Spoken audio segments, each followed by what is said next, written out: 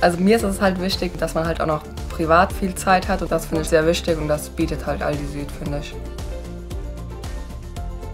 Mir geht es immer darum, wenn es meinen Mitarbeitern gut geht, dann geht es mir auch gut. Im Außenraum ist immer alles zur Verfügung gestellt, was der Mitarbeiter sich wünscht. Das Geld kommt immer überpünktlich, egal was man mal braucht, wird geschaut, dass es möglich gemacht wird. Das sind so Dinge, auf die man sich doch zu 100 Prozent auf die Firma verlassen kann. Aldi zahlt gutes Gehalt, faires Gehalt für das, was man leistet.